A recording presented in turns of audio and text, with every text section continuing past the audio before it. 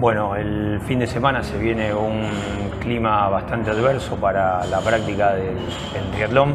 Ahí estuvimos consultando con la gente de Defensa Civil, nos pasó los partes y tomamos la decisión por un tema de seguridad de reprogramar la competencia para el día 11 de abril. Eh, hace un ratito, media hora, terminamos un Zoom con las autoridades del EMDER, del EMTUR, de inspección y de seguridad y la gente del Consejo Liberante para efectivizar y confirmar la fecha del 11 de abril.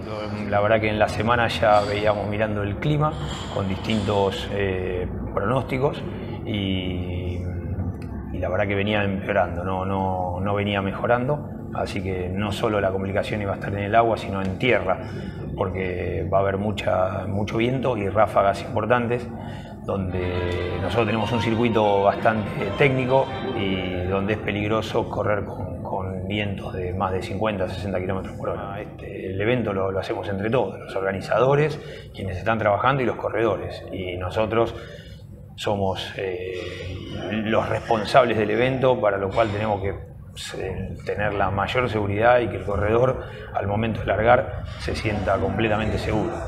Entonces confirmaron una fecha. Correcto, 11 de abril, eh, ya se reprogramó, eh, se está comunicando ahora en las redes nuestras junto con el parte meteorológico de Defensa Civil.